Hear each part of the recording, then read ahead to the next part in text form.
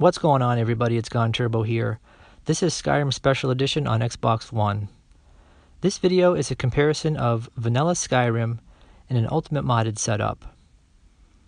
In this video, you're going to see three different clips per scene one of purely vanilla Skyrim, the second, an Ultimate Modded setup with mythical ages, weather, and lighting, and the third, that same modded setup, but instead of mythical ages, I'm using rustic weathers and lighting.